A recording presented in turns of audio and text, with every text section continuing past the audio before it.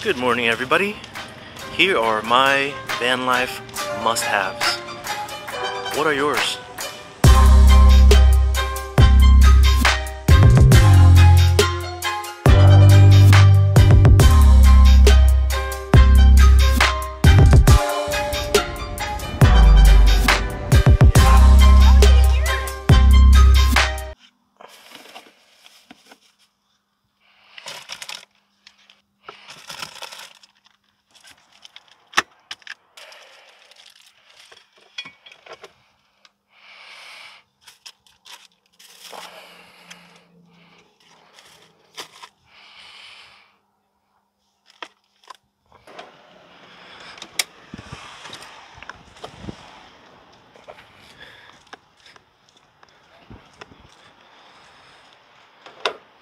Alright, just before making breakfast here, I wanted to talk about van life must-haves.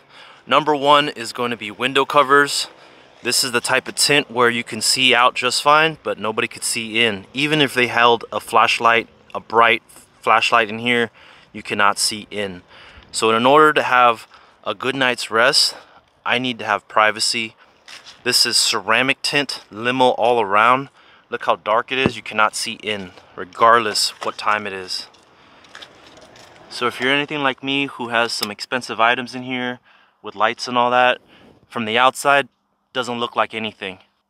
Window covers is a must. I don't want everybody seeing into what I have in here. You want to be safe, so window covers is the way to go.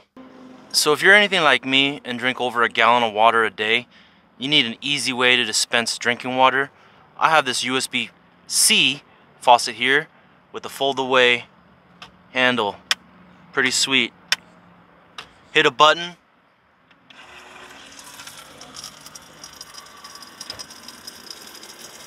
And there you go. Moving right along, a comfortable bed that converts into a couch was incredibly important to this build. It was probably the biggest problem to solve. I modeled this after a Volkswagen Westfalia style but let me focus on the bed. It is incredibly comfortable. This is a 7-inch IKEA memory foam, 2x3s.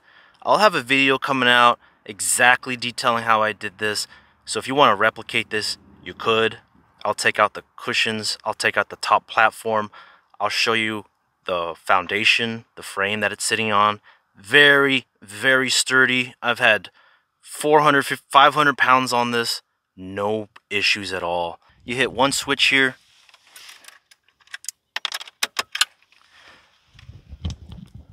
Give this a little, little tug. And there you go. Now you have a 39 by 74 inch bed, also known as a twin bed. It's 7 inch 7 inches of foam. I am 6'1", 200 pounds for reference, and I sleep in here like a baby. It is incredibly comfortable and it converts in two seconds. Converts back in two seconds. So this is where the magic of sleep happens and maybe a little watching TV because this is on a, a hinge and you can mount this wherever. But I'm getting off topic. Another big thing is a power station. How will you run all your electronics? You may not have as many as I do, but you may want to charge your cell phone if you're doing a no build build. You need something to at least charge your cell phone. You don't actually don't even need a power station. You just charge it up while you drive. But if you're going to be boondocking somewhere for a long time, you need a power source. What I have in mind is up top, 325 watts of solar. It fits and spans the entire length of my van.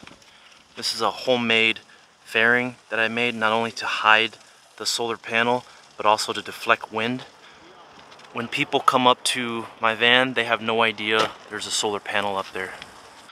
Into three 100 amp hour lead acid batteries. I have a Victron smart solar controller and uh, together with a friend of mine, we put together this charging station.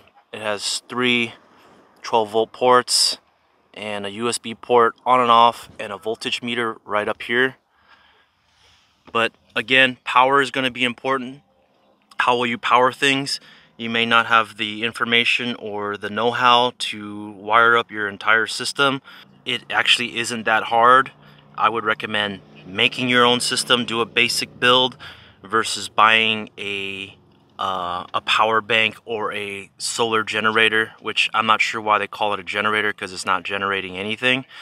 But some of those are going to be, you buy those for convenience only. It has a very small capacity battery and also has a very small wattage inverter in those all-in-one power banks. Just keep that in mind. You're only buying those for convenience. If you don't want to wire up all your own stuff, which is going to be a fraction of the cost, with way more capacity and more power and more capacity to save energy than any of those power banks, aka solar generators. But it is convenient and there is a market for it. As you can tell, those sell out like crazy. Another thing that is a must-have for me is a 12 volt compressor refrigerator. It is incredibly efficient. It only uses 45 watts an hour, which is basically like a light bulb. Not having to deal with changing out ice, buying ice every few days, having the bottom full of water, my food messed up has been clutch. Can you do this life with a cooler? Of course you can, but you want to make it as comfortable and easy for yourself as possible so you don't get burnt out. Having this has really stepped up my van life game and I will not go back to a regular cooler. It fits right in between the seats. I can use it as an armrest, another counter it's been perfect. I do have induction cooktop, but not everybody can run that. So I'm going to show you guys this propane dual burner from Walmart. $30 Ozark Trail. Packs down really slim. This has been such a great value. Double burner, propane, get your breakfast going. It's been pretty sweet. Also, side note, this cargo swing away hitch has been invaluable, not only as a storage, but also as a countertop. I love cooking back here. It is a huge, basically the width of my van, and I can cook up here. You have this, you grab one of those hefty, ultra strong bags, you put some uh, Tidy Cat litter, you take the dump, and then, you know, you just shake it up a little bit, you tie that thing up, boom, you just... You heard it here first. This is Kevin's van. If you watch my channel, you know who he is.